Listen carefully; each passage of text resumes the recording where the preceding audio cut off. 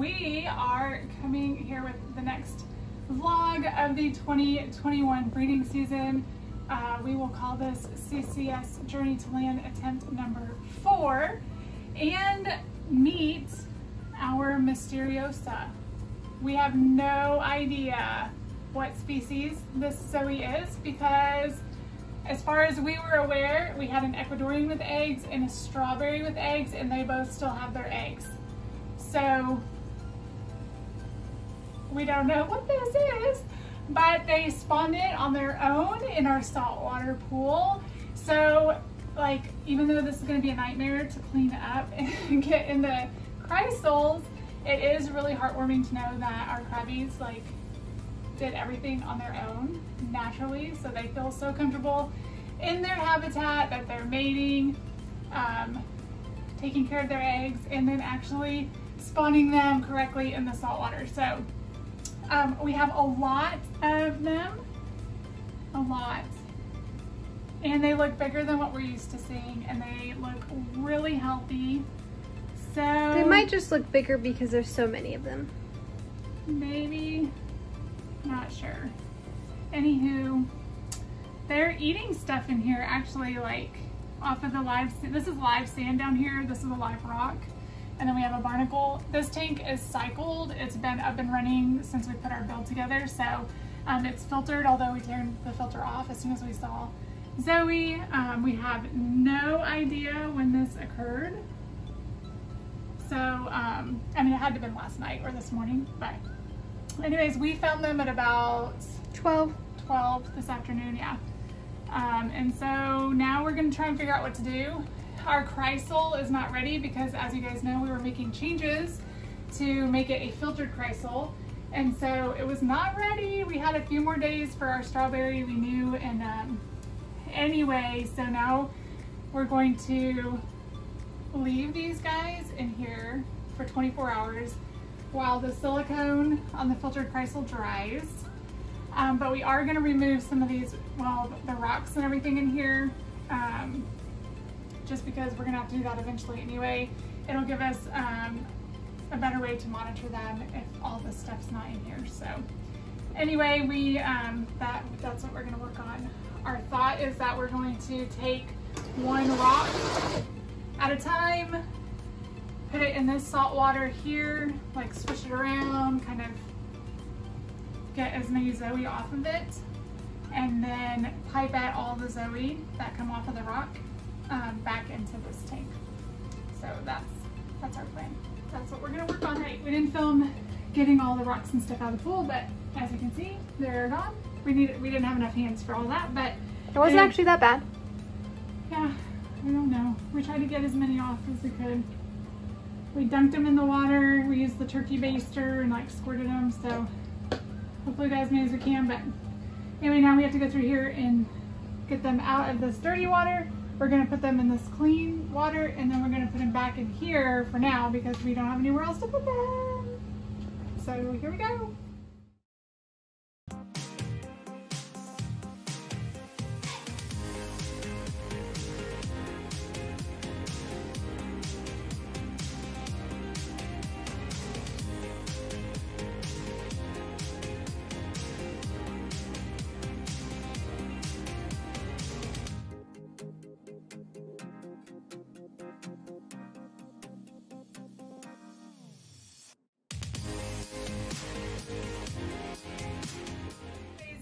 Is the day that we are going to get them in our Kreisel. We worked super hard yesterday at getting our altered Kreisel um, complete. So um, I put a lid on this tank last night to keep all the other crabs out. Put some rocks on there so that they wouldn't push the lid out of the way because we do have other crabs that have Zoe. Um, and we just didn't want crabs in here with all of these guys. And so um, we do need to get them out though because we have crabs wanting to get in here. Um, this E is toe dipping back here in the corner. Oh my goodness, it's so funny. Anyway, um, and so yeah, that's what we're gonna get started on this morning. But these guys look great. They're still swimming around and um, there's a lot of them. So we're pretty excited about this. And um, the Kreisel now has the filtered patches are silicone in there and they are, they are dry. Um, so I'm just gonna do a quick wipe out just to make sure, I mean, it's been sitting here for a few days, so I'm just gonna wipe it out real quick.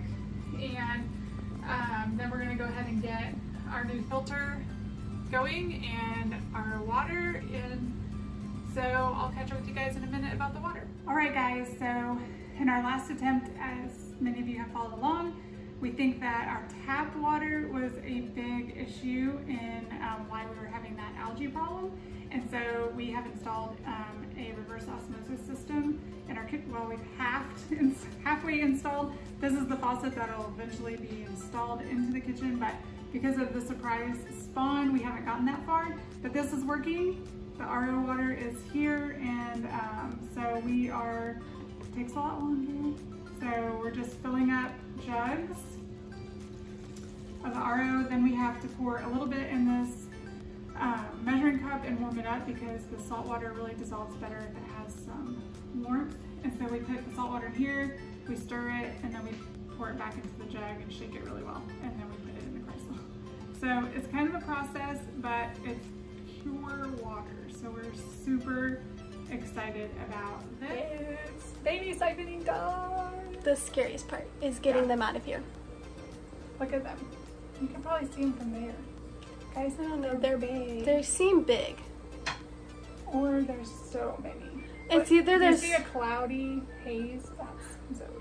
it's either that they're so big that we can see not so big, like they're not giant, but they're either uh, that big that we can see them across the room, or that there's just that many of them. Yeah. We're not sure yet. We'll know when we start doing water changes. Yes. So the plan is to put all of these guys in Kreisel 2 uh, because Strawberry is going to be spawning like in the next couple days. And so we're going to put all of her babies in Kreisel 1. Mhm. Hopefully she is not going to spawn in this pool because oh, it's going to be really difficult to get these guys out. But So- better in the pool than on the sand because we can. Yes. Deal with them. Yeah. So we have the birthing suite already up and ready for the strawberry. So we're planning on putting her in there tonight actually. So we also have to get the water ready for her. Mhm. Guys, look at them swimming to the light.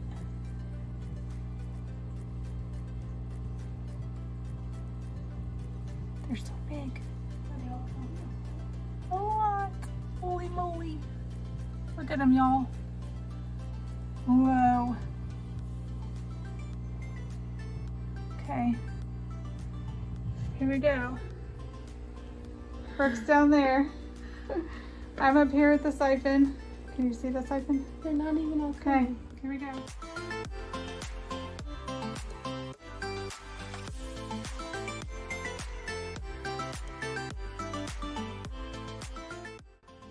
All right, so we have finished siphoning out the babies from the 10 gallon water pool. And actually that's what I was most nervous about, but it turned out to not actually be that bad. So we turned out all the lights in the room, made it like super dark in here.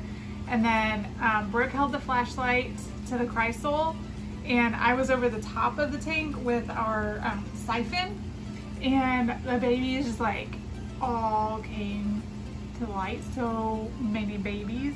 And so, I mean, I just stuck the siphon down there and the vacuum of it just took all the babies right into our bucket. And um, so we did a full gallon like that and then we poured them in. We went back for um, a second pass and collected a lot more in the same way. We started to like move the flashlight to different parts of the Kreisel that time. And anywhere there was like a dip in the um, sand of the, not in the Kreisel, sorry, in the 10 gallon tank. And anywhere there was like a little dip in the live sand, some would like congregate in there because there wasn't enough water movement. Um, and so we could, we could just shine the flashlight there and get a whole bunch there too. And so then um, that was like the majority of them, just two times of siphoning, two full gallons. Yep. And we put them in the Kreisel and fed them some food and got them up and running. Um, and then we went back for a third pass in the 10 gallon pool because we started to just see some like swimming in there. Not a ton, just a few. But um, anyways, we didn't want to like leave them in there. So we went and got them out with the siphon. That time we left the lights on actually because they were so sparse and most of them were um, like swimming in the middle of the pool, um, the ones that were left. So anyway, so we got those guys and we added them to the Kreisel and like that's it. We got them. We got them all. There definitely were some um, dead ones like on the bottom on the live sand and so we have to go through and clean that really well. Would but, you say this was easier than the last spawn to get in the Kreisel? Yes, because we decided since that pool was cycled, completely cycled, because our pools have been up for months now and the parameters are great, um, we decided to go ahead and just dump the whole bucket with the Zoe right into the Kreisel. Um, so we did like a 50-50 in the Kreisel. We did 50% RO water and 50% cycled tank saltwater water. tank water from the um, pools.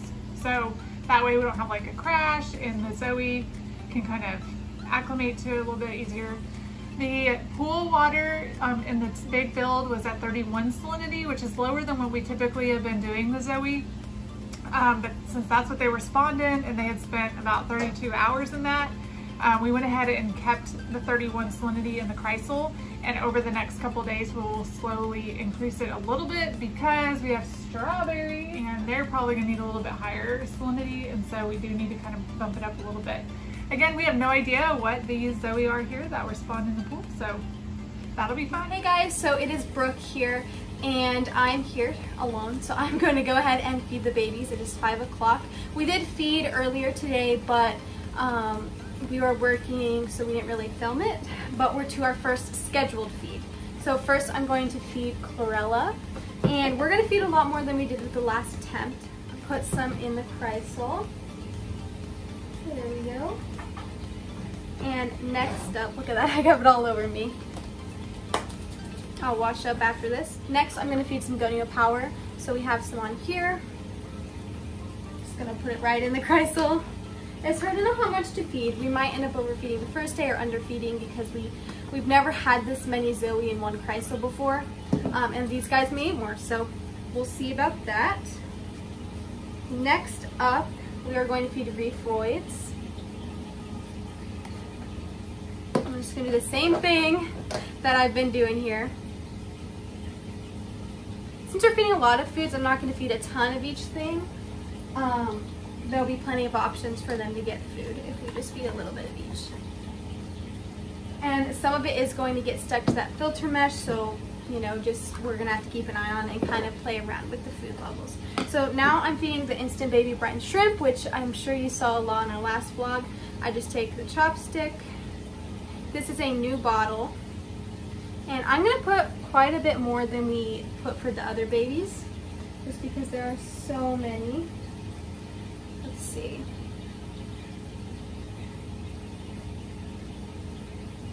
There we go. Um, so it's just to take some playing around with to see how much, but I'm to go ahead and turn the camera so that you guys can see them eating. All right, I don't know if you can see them eating or not.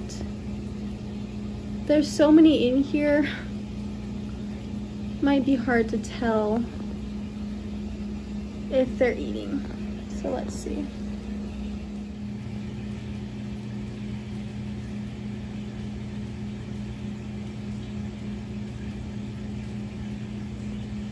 Okay, I'm sorry that clip isn't very good. There are so many babies in there. It is so difficult for y'all to see them eating. Um, but excitingly, we have purchased a microscope and you know, it may not work. We don't know what kind of, you know, how to work and whatnot. But I want to thank Kathy for donating to our breeding program. That is how we were able to afford the microscope. So thank you so much, Kathy. Your donation is so appreciated. And if anyone else wants to donate um, to our breeding program, I'll leave a link down below. All right, guys. So there is day zero and day one of CCS Journey Lane 4, Mysteriosa. We're so glad that you guys are joining us. Thank you for all of the good lucks, the fingers crossed, the prayers, the encouragement. We really appreciate you guys. We've made a lot of changes um, to the Kreisel and what we're doing this time around, so we're really hopeful. We'll have to do a tour on that in the next vlog because we ran out of time in this one. It'll be pretty long if we add it. Yeah, well, we had to hurry up the process. We were videoing it along the way actually, but then this happened and we were like, whoa, hurry up, gotta get it finished. Yeah. So anyways, but yeah, we're really hopeful that these things help and uh, thank you guys for all of your suggestions at the close of attempt three. And so, so yeah, thanks for coming along with us. We're super excited for another chance in this breeding season and also had some more E's mating today. So looks like we're gonna have a very busy summer. Thanks for tagging along guys. If you haven't already, subscribe to our channel. Follow us on all our social medias because we have been posting a lot on there. You are missing out if you do not follow our Instagram, Facebook, and TikTok. We have started TikTok now, so go follow those.